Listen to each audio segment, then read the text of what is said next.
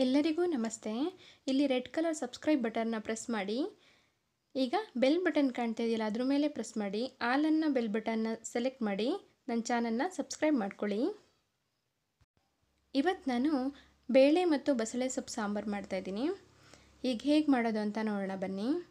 ನಾನು ಬಸಳೆ ಸೊಪ್ಪನ್ನ ನೀಟಾಗಿ ತೊಳೆದು ಕಟ್ ಮಾಡಿ ಇಟ್ಕೊಂಡಿದ್ದೀನಿ. ಮತ್ತು ಇದ್ರ ಜೊತೆಗೆ ಅರ್ಧ ಕಪ್ಪು ಬೇಳೆ ತಗೊಂಡಿದ್ದೀನಿ. ಈಗ ಈ ಖಾರಕ್ಕೆ ಹಾಕೊಳ್ಳೋಣ. ಈಗ ಕಾಯಿ ಮತ್ತು ಒಂದು ಈರುಳ್ಳಿ, ಒಂದು ಟೊಮೆಟೊ ಮತ್ತು ಖಾರ ಪುಡಿ, ಧನಿಯಾ ಪುಡಿ ತಗೊಂಡಿದ್ದೀನಿ. ಈಗ ಇದನ್ನು ರುಬ್ಬಕ್ಕೆ ಹಾಕೊಳ್ಳೋಣ. ನೋಡಿ, ಕಾಯಿ ಮತ್ತು ಈರುಳ್ಳಿ, ಟೊಮೆಟೊ ಇದನ್ನು ನಾವು ರುಬ್ಬಕ್ಕೆ ಹಾಕೊಳ್ಳೋಣ. ನೋಡಿ, ಈ ಥರ ಹಾಕ್ಕೊಂಡು ಇದಕ್ಕೆ ಧನಿಯಾ ಪುಡಿ ಹಾಕೊಳ್ಳೋಣ ಒಂದು ಸ್ಪೂನು. ಮತ್ತು ಒಂದು ಸ್ಪೂನು ಖಾರ ಪುಡಿ. ಖಾರ ಬೇಕಾದರೆ ಜಾಸ್ತಿ ಹಾಕ್ಕೊಳ್ಳಿ ನಾನಿಲ್ಲಿ ಒಂದು ಸ್ಪೂನ್ನ ಮಾತ್ರ ಹಾಕ್ಕೊಂಡಿದ್ದೀನಿ ಮತ್ತು ಇದಕ್ಕೆ ಒಂದು ಸ್ಪೂನ್ ಅರಿಶಿನ ಪುಡಿ. ಮತ್ತು ಒಂದೆರಡು ಇಕ್ಲು ಬೆಳ್ಳುಳ್ಳಿನ ಹಾಕ್ಕೊಳ್ತಾ ಇದ್ದೀನಿ ಈಗ ಇದನ್ನು ಗ್ರೈಂಡ್ ಮಾಡ್ಕೊಳ್ಳೋಣ. ನೋಡಿ, ಈ ಥರ ಗ್ರೈಂಡ್ ಆಗಿದೆ. ಈಗ ಒಗ್ಗರಣೆ ಇಟ್ಕೊಳ್ಳೋಣ.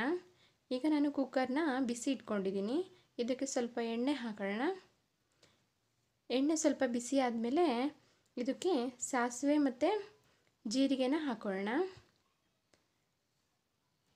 ಈಗ ಇದಕ್ಕೆ ಬೆಳ್ಳುಳ್ಳಿನ ಜಜ್ಜಿಟ್ಕೊಂಡಿದ್ವಲ್ಲ, ಅದನ್ನು ಹಾಕೊಳ್ಳೋಣ. ಇದು ಚೆನ್ನಾಗಿ ಬೇಯಲಿ ಒಗ್ಗರಣೆಲಿ. ಈಗ ಸೊಪ್ಪನ್ನ ಕಟ್ ಮಾಡಿ ಇಟ್ಕೊಂಡಿದ್ವಲ್ಲ ಅದನ್ನು ಹಾಕ್ಕೊಂಡು ಫುಲ್ಲೆಲ್ಲ ಹಾಕ್ಕೊಂಡ್ಬಿಟ್ಟು ಚೆನ್ನಾಗಿ ತಿರ್ಸ್ಕೊಳ್ಳೋಣ. ಇದು ಸ್ವಲ್ಪ ಬತ್ತಬೇಕು ಸೊಪ್ಪು. ಇಲ್ಲಾಂದರೆ ಖಾರ ಎಲ್ಲ ಹಾಕಿದರೆ ಮೇಲೆ ಆಗುತ್ತೆ. ಹಸಿ ಸ್ಮೆಲ್ ಹೋಗೋ ತನಕ ಬತ್ತಲಿ ನೋಡಿ ಈ ಥರ ಬತ್ತಿದೆ. ಈಗ ಇದಕ್ಕೆ ಬೇಳೆ ಹಾಕ್ಕೊಳ್ತಾ ಇದ್ದೀನಿ.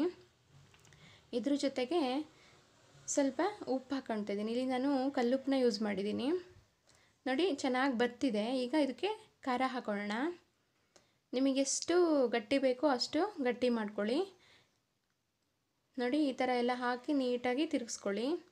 ನೋಡಿ ಈ ಥರ ಇಷ್ಟು ಗಟ್ಟಿ ಮಾಡ್ಕೊಂಡಿದ್ದೀನಿ ನಾನು. ಇದನ್ನು ಎರಡು ವಿಷಲ್ ಹಾಕ್ಸ್ಕೊಳ್ಳೋಣ. ಎರಡು ವಿಷಲ್ ಆದಮೇಲೆ ತೆಗೆದು ನೋಡೋಣ ವಿಷಲ್ ಆಗಿದೆ ಈಗ. ನೋಡಿ, ಈ ಥರ ಆಗಿದೆ ಸಾಂಬಾರು. ತುಂಬಾ ಚೆನ್ನಾಗಿರುತ್ತೆ ಬಸಳೆ ಸೊಪ್ಪು ಸಾಂಬಾರು.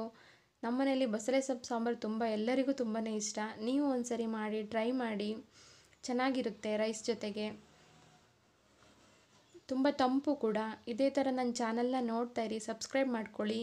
ಕಮೆಂಟು ಮತ್ತು ಲೈಕ್ ಕೊಡೋದನ್ನು ಮರೆಯಬೇಡಿ ಥ್ಯಾಂಕ್ ಯು.